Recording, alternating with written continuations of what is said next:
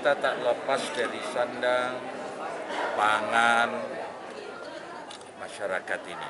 Sandang, pangan, papan, itu yang, yang di, itu kebutuhan dasar rakyat.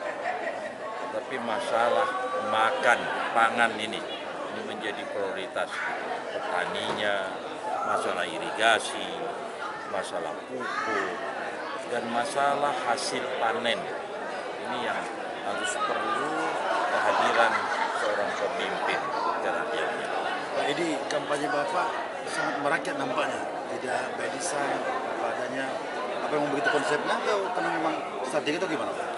Yang memilih saya itu rakyat. One man, one vote. Sehingga saya harus sampai ke rakyat, sehingga rakyat tahu saya dan kita bisa bertukar pikiran. Sehingga rakyat tak salah memilih pemimpinnya. Insya Allah. Pak Edi, Pak, sejauh ini Pak Edi yang paling rajin bertemu dengan partai politik di semua kabupaten kota, Pak, menyisakan waktu untuk partai politik. Seberapa besar eh, kekuatan Bapak atau perhitungan Bapak dengan kader-kader partai politik? Persoalannya bukan beberapa besar, tetapi kita sudah sepakat di dalam undang-undang bahwa kita ini berdemokrasi dengan partai politik. Maksudnya desainnya adalah melalui partai politik. Siapa yang menghormati partai politik kalau bukan calonnya? Perkara dia berbuat atau tidak berbuat itu adalah urusan kewibawaan partai itu sendiri. Saya berharap partai adalah dia hanya memenuhi kuota seharusnya. Tetapi kan ada orang yang terlalu senang mengambil semua partai. Itu kan orang. Saya berkeinginan bahwa ke depan semakin banyak calon kontestasi itu semakin baik untuk rakyat. Inilah dari partai ini.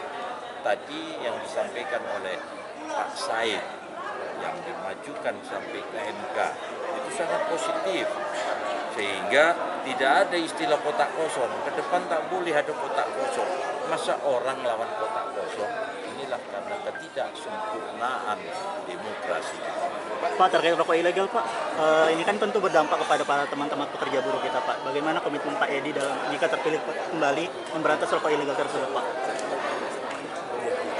pasti yang ilegal pasti salah. Namanya saja ilegal. Pasti salah. Tapi persoalan bukan itu. Partai buruh saya lihat sangat kritis. Untuk itu pemimpin harus terbuka terhadap bukan hanya partai buruh sebenarnya terhadap para buruh Iya. karena tak pernah didengar sehingga berkumpullah berserikatlah dia membentuk satu partai inilah partai buruh saya tak pernah khawatir tentang itu.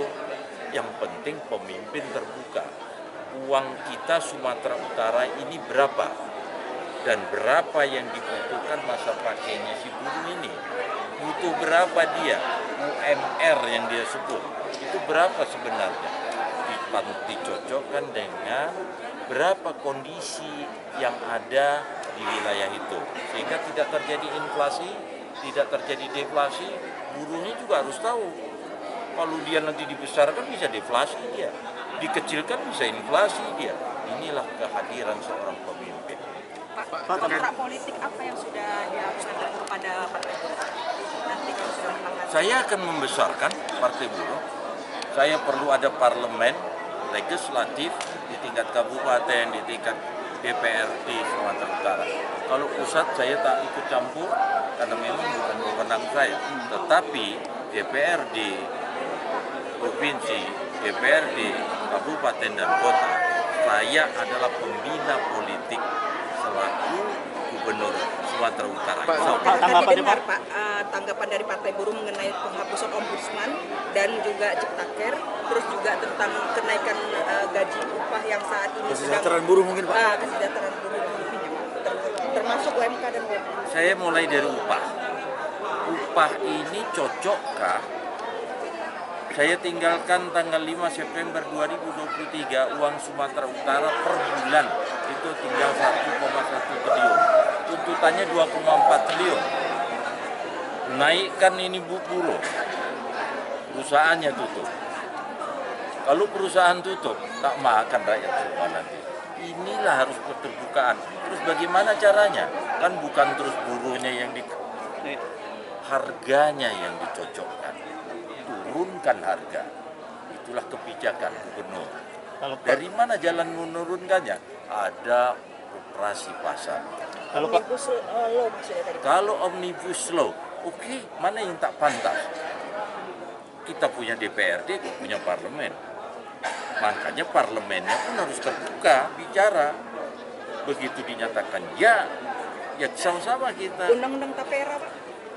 Apa pun bentuknya, siapa yang memberatkan rakyat harus kita hapuskan di atas. Pak terkait dengan Bobi. Nasution semalam kan menuding jika kita eh, jika Bapak itu sulit berkoordinasi dengan dia waktu sebagai wali kota Medan. Nah itu tanggapan kita soal itu gimana? Maksudnya, Dia Bobi, sema- Bobi sulit koordinasi waktu Bapak jabat jadi gubernur. Itu kan untuk pembangun pembangunan di kota itu Medan. kan menurut dia, orang buru-buru aja koordinasi gampang, apalagi Bobi. Satu, Pak satu lagi soal ini eh, dia juga menuding jika kita apa semacam itu? Bapak Pak, yakin komitmen. melawan uh, menantu penguasa? Yakin menang? Itu aja. Saya selalu optimis. Oke, ya, Pak, komitmen Oke, Pak, mana sih, Pak? Oh paling paling gubernur paling mantap. Oh iya. Apa itu? apa yang tegas Bapak Gubernur paling mantap. Guru gubernur paling mantap. Rokok ilegal? Pokoknya yang sudah ilegal kita berantas Ya, saja. Pak juga dia menyindir juga Bobi Nasution menyindir juga jangan Bapak dinilai jangan menjadi merasa gubernur paling mantap se Indonesia katanya gitu. Kata istri saya, saya paling mantap gitu. Kalau istri dia bilang saya tak mantap, itu urusan istri.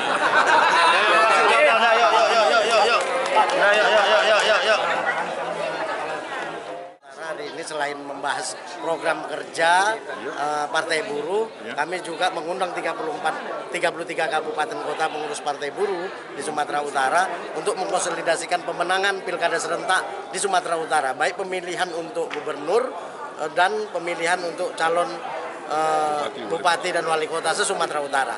Untuk gubernur kita sudah tegaskan, sudah instruksikan ke seluruh kader Partai Buruh di Sumatera Utara untuk satu komando memenangkan Edi Rahmayadi Hasan Basri Seragala nomor urut 2 untuk menjadi gubernur dan wakil gubernur Sumatera Utara.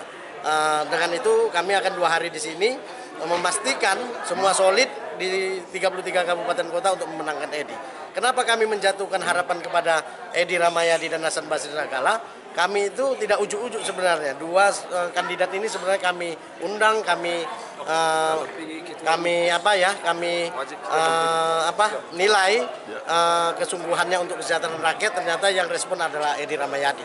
Dan karena buruh ini, partai buruh ini elemennya adalah buruh, petani, nelayan dan rakyat kecil, jadi pilihan partai buruh harusnya diikutin oleh masyarakat Sumatera Utara karena kita ini adalah partai kelas, partai pekerja, partai buruh yang eh, kumpulan rakyat kecil. Jadi eh, komitmen kami kalau Edi Ramayadi jadi satu, partai buruh akan didengar aspirasinya. Kedua, akan diperhatikan kesejahteraan buruh, petani, nelayan dan rakyat kecil itu udah janji beliau dengan masukan-masukan kita. Jadi kalau selama ini kita sering demo-demo, mungkin nanti kita eh, langsung eh, membisikkan ke telinganya, tidak pakai toa lagi. Itu kemudahan kita nanti. Semoga beliau menang. Dan eh, visi misi mere- eh, Edi Ramaya itu memang benar-benar eh, punya visi dan misi untuk kesejahteraan rakyat di Sumatera Utara. Itulah yang akan kita eh, rapatkan pada hari ini bagaimana strategi pemenangan untuk pilkada, eh, gubernur dan bupati dan wali kota di Sumatera Utara. Oke, rakerda ini dilaksanakan berapa hari, Pak? Rakerda ini dilaksanakan kurun waktu dua hari, eh, Senin Selasa ini, Hmm. berakhir Selasa besok sore. Hari kedua ini apa dibahas? Hari kedua adalah tentang pembahasan restrukturisasi kepengurusan. Mungkin ada yang harus diganti, ada yang menambah gitu. Bukan mengganti ketua ya, tapi penambahan kekuatan elemen rakyat kecil. Ada berapa kabupaten kota yang ikut?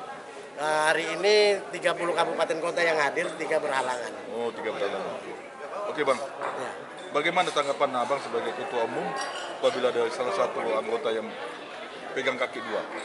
Oh itu akan kita pecat dan kita tidak mentolerir itu. Itu berarti namanya pengkhianat eh, di dalam tubuh eh, partai. Dan pastinya eh, itu dia tidak akan bisa pakai nama-nama organisasi atau partai kita. Itu pribadi dia. Jadi bagaimana bisa ketua melihat bahwa senja dia pasang dua kaki? Pasang dua kaki pertama kita kan juga punya informan ya, walaupun partai kita punya informasi, eh, kemudian eh, dokumentasi, nah itu sepanjang itu nanti bisa dibuktikan kita akan sampaikan ke mahkamah, ada di ADRT kita mahkamah partai untuk disidang agar membuktikan bahwasanya dia memang itu dua kaki dan pasti akan ada sanksi eh, bagi anggota yang seperti itu. Oke, harapan Bang terakhir. Harapan dengan kegiatan rakerda ini kepada apa anggota ataupun pengurus daerah. Ya harapan kami dengan rakerda ini pulang dari sini harapan kami ini eh, kader-kader semua sungguh-sungguh memenangkan Partai Buruh mengajak eh, keluarganya, saudaranya, tetangganya untuk mensosialisasikan program-program juang eh, Edi Ramayadi.